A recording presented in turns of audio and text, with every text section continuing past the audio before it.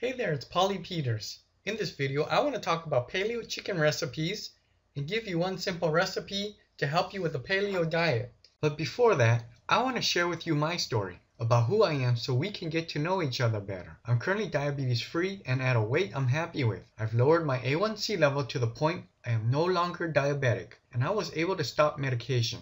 But it wasn't always like that in the past. In fact, I used to really struggle with my diabetes and weight. In four years, I lost a total of seven and a half pounds.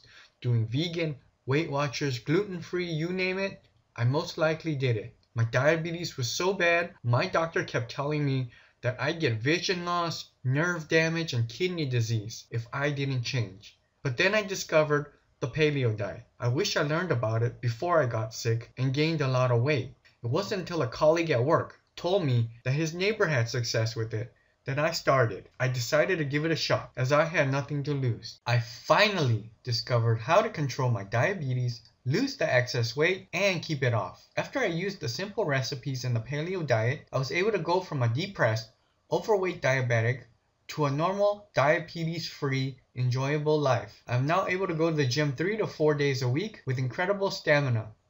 Not only that, it feels amazing no longer having to take medication. The following recipe is the exact one I've been using in my diet for the last two years. My wish is that it helps you achieve your goal, like it did for me. Now on to the recipe. Chili and garlic chicken skewers. Ingredients 6 wooden skewers soaked in cold water for 30 minutes, 2 chicken breasts diced, 2 tablespoons of olive oil, 1 teaspoon of chopped red chilies, 4 garlic cloves finely chopped, 6 tablespoons of lemon juice.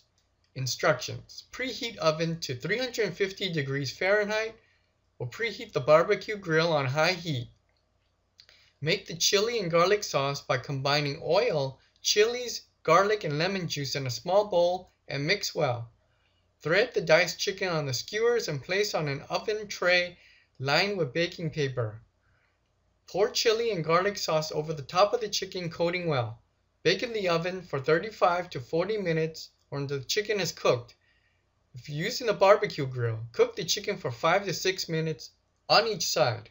And that's the recipe of the day. If you enjoyed this video, then like the video and subscribe to my channel. If you'd like to learn more about the paleo diet so you can experience improved sugar control and weight loss, then click the link below the video, take action and go check it out. Again, click the link below, take action and go check out the page there.